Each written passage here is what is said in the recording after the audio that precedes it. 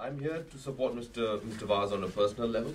Uh, he was very sweet to extend an invitation to me because he knew I was um, in the vicinity. And uh, I'm here because he's somebody I've, like I've always said, have huge respect for. Do you think do you think the Indian community needs leaders? He sets a great example, and I'm sure I I, I, I I don't think it'd be correct of me to to speak on their behalf because I, I, I don't I'm not in their situation. But anybody uh, who's an expatriate, um, anybody who is an NRI today living in a foreign land would obviously love their interest to be taken care of, and he's always made it um, possibly the top of his agenda to take care of people from the subcontinent. And um, he's always been very helpful to anybody from my fraternity whenever we've come here, and he's facilitated a lot of our work over here. So, so obviously, I think it's a great thing that he's doing.